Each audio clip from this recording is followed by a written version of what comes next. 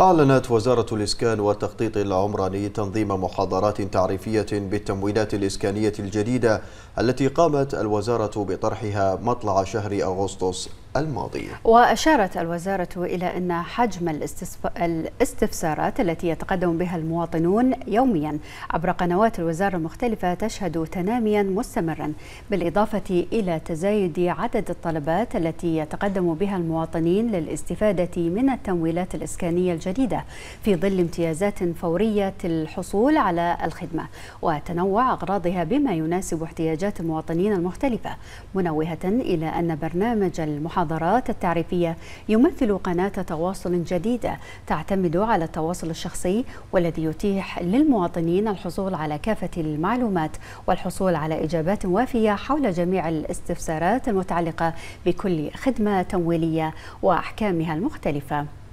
وأفادت الوزارة بأن المحاضرات التعريفية بالتمويلات الإسكانية الجديدة متاحة لحضور جميع المواطنين ممن لديهم طلبات إسكانية قائمة ويرغبون بتحويل طلباتهم للاستفادة من التمويلات الإسكانية.